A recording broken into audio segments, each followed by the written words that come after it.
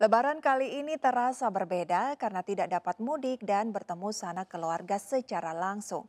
Namun dengan menjaga tradisi lebaran keluarga, lebaran tetap akan terasa istimewa. Anda pun masih tetap bersilaturahmi secara daring untuk mengobati rindu berkumpul sesama.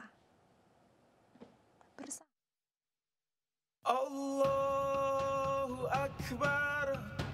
Allah. Hari Raya Idul Fitri tahun ini akan terasa spesial karena tak seperti lebaran-lebaran sebelumnya, lebaran kali ini umat Islam di Indonesia merayakannya dengan di rumah saja. Tidak ada mudik. Tak ada sholat id berjamaah di masjid. Tidak pula berkunjung ke rumah sanak saudara.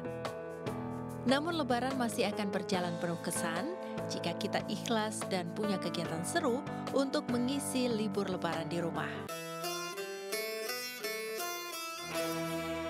Seperti yang dilakukan Mutia Hafid, Ketua Komisi 1 DPR RI.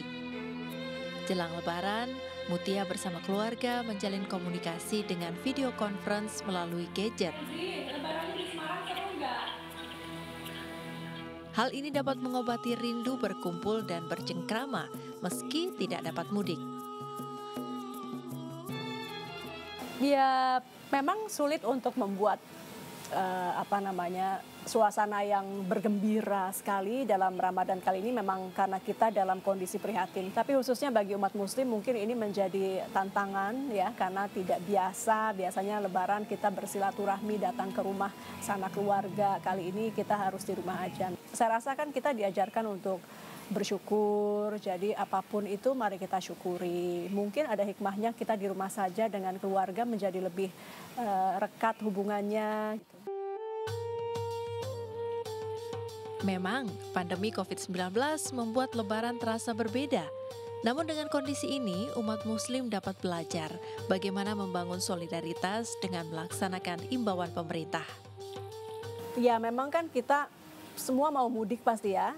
Saya rasa yang paling tepat adalah jangan hanya memikirkan kitanya mau mudik karena pasti semua mau mudik, tapi bagaimana uh, orang lain nggak bisa mudik karena karena memang harus bertugas di rumah sakit misalnya ya. Mudah-mudahan menjadi uh, Ramadan dan Lebaran yang betul-betul mengajarkan kita uh, solidaritas, kebersamaan, bahwa apa yang kita lakukan sangat berpengaruh kepada orang lain. Demikian juga yang orang lain lakukan akan berpengaruh kepada kita.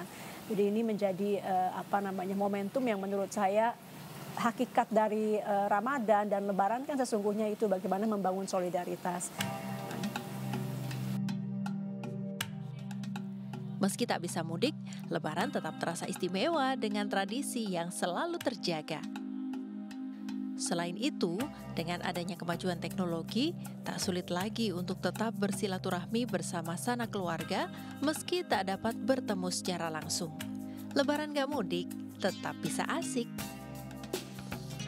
Dari Jakarta, Nila Matsuna, Ardi Nugroho, Ayus melaporkan.